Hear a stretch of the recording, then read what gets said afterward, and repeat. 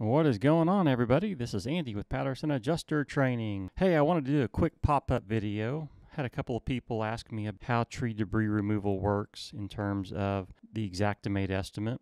So I wanted to show you guys how you add that to the estimate. I remember being new years and years ago trying to add uh, tree debris removal to an estimate. Never fails. Something like this pops up about 8:30 at night. You're trying to get an estimate done. You're like, "Oh my gosh, how do I add this to the freaking estimate?" And you're banging your head against the wall and nobody's available to call. So you go to bed frustrated, mad, upset, and you've got that hanging over your head the next day. So I wanted to show you guys how to add that.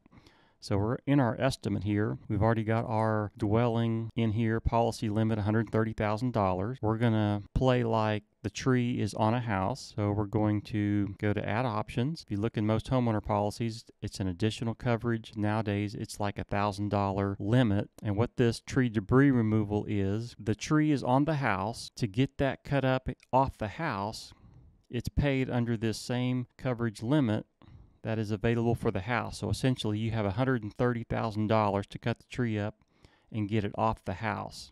Not cutting it up and hauling it to the dump just to get it off the house. In the spirit of the policy, the repairs can't go forward until that tree is off the house. So that's why it's paid under that same coverage. And we're going to act like this is one of the standard insurance policies out there for homeowners. So, under additional coverages, this tree debris removal pays up to $1,000 to cut it up and haul it off the premises. So, we're going to do $1,000. Then we're going to go to our estimate items and we're going to put tree debris removal under debris removal in our grouping tree. Now, the two that you're going to use probably the most is all under the DMO category, and you're going to use tree LHR and think of this as two guys with chainsaws cutting trees up. The other one that you're going to use is tree HR. Think think about this one as a tree company with guys or gals with chainsaws, a crane, a backhoe, any equipment needed like that. Those are the two that you're going to use the most. The other one that you're going to use is bid item. A lot of times you're going to get out to the policyholder's house and they have already got the tree removed.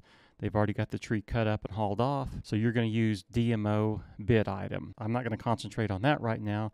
What I'm going to do is show you how to add tree debris removal if you're doing it yourself. So what you've got to do is you've got to think in terms of how long would it take a tree company to remove this tree off a house. Now, I don't want to get into the weeds as far as what if a policyholder wants to do their own tree debris removal or a policyholder says, I spent 60 hours cutting this tree up and got it off my house now, so you guys need to pay me.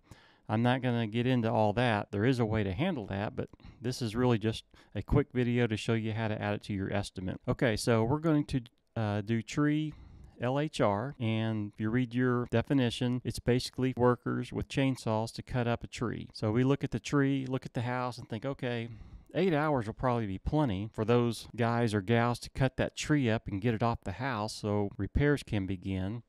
So what you'll do is do two workers working four hours each. That way, whoever comes behind you knows your thought process. The other thing you need to add, I've already got these saved as note templates, is I've got one tree debris removal for coverage A and then tree debris removal for cut up and haul off. So I got this one. This is to remove tree debris from home, detached buildings, fence, etc. And see the coverage is dwelling. Now the next one, it's going to be a duplicate line item essentially. And I'm going to say, okay, so the tree's on the ground now. They need to cut it up and haul it to the dump. I figure six hours would be plenty for two workers working three hours each. I've got my line note. This is to cut it up and get it off the premises. I'm going to go down here and it's going to be tree debris removal.